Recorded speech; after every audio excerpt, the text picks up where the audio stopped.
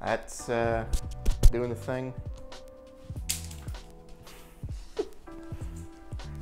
Hold on, get the clap block. See, that's why you can't put that on the floor.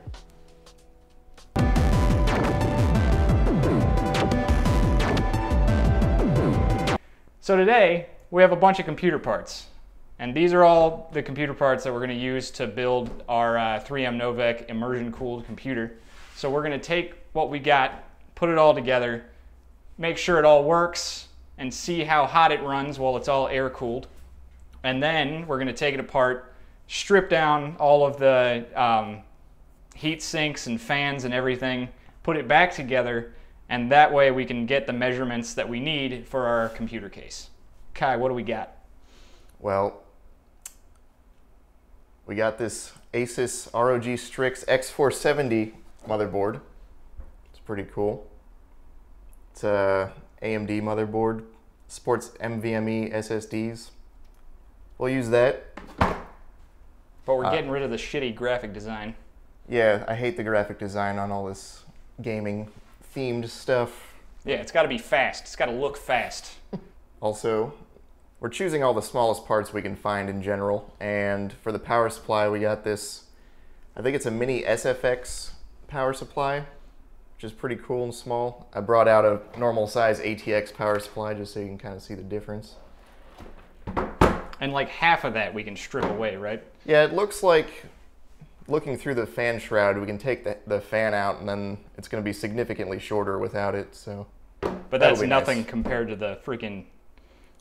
yes, the, gra- Graphics the graphics card we have here, which is the Sapphire Pulse Vega 56 card, which looks like a very large card, but this entire half of the heatsink, it doesn't have any PCB behind it. So if you flip it around, you can see the actual PCB for the card is pretty small. And once we disassemble it, that's all we're going to need. So that'll be pretty sweet. AMD Ryzen 2700X CPU and 32 gigabytes of Corsair RAM. Surprisingly, if you want fast RAM, it's kind of hard to find RAM that doesn't have a gigantic heatsink on it these days. So this is about the shortest one I could find. Is that a heatsink? That red part? Well, I guess it's called a heat spreader, but yeah. It's just a just a really flat heatsink. It's a piece of aluminum sheet metal that they just glued onto the chips. but yeah, it's keeping it cool, man. I think they did it to make it look prettier mostly, but But can we remove that so that's coming off, or are we gonna leave it on there? it's glued on with well, I guess it's double-sided taped on, but I don't want to risk damaging the RAM module, so Makes sense. leave it on. All right. And for storage, we have uh, PCI Express SSD. Oh, We'll skip over. we don't have it anymore. yeah, it's dead now. Yeah, it's really small, fits on the motherboard, so it won't take up any extra space in the computer. And they're really fast, so that's pretty sweet. All right, so now we're just gonna assemble all these parts just to, like we were saying, make sure they work before we take them apart. Because at that point, I guess you could turn back, but it's more of a pain in the ass.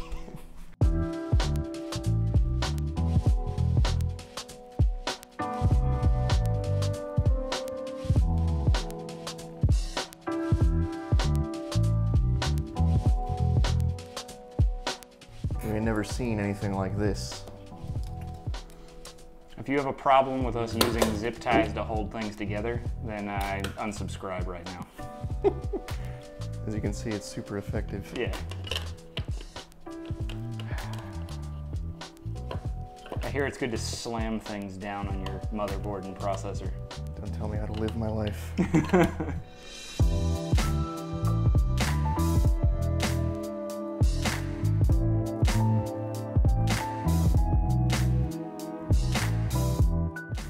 let's uh, set up our advanced cooling system a little bit more here.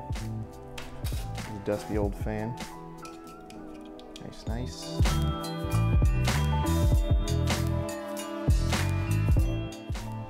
All right, she's totally set up now. It's really sweet gaming rig.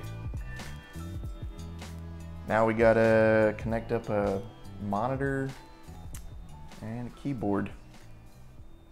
Get Windows running. All right, so we have this system fully professionally assembled now to test out. Professionally zip tie assembled.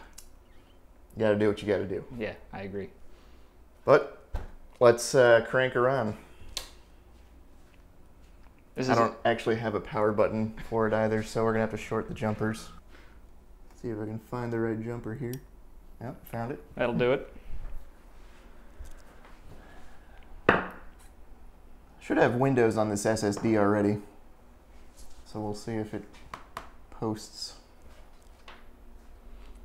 Is this fan supposed to be going? Nah, there was a label on there. If it's not under enough load, it doesn't turn the fan on, so Nice. keeps it quieter, I guess. I was hoping it was just going to be broken, and I was going to be like, "This is sick." Well, that's why we're testing it. Yeah, we're going to remove. Well, we're going to take it apart anyway. We don't need that part. All right, after a very long period of time, it's uh, posted to this screen. Yeah, welcome to the Republic of Gamers, bro. We're now members of the Republic of Gamers. Yeah. New CPU installed? All right, whatever.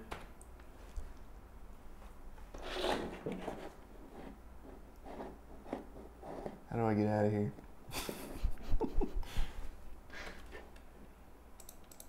Perfect.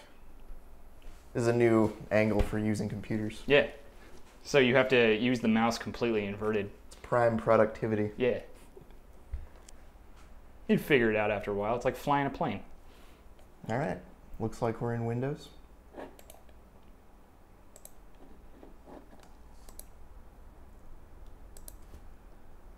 All the memories showing up.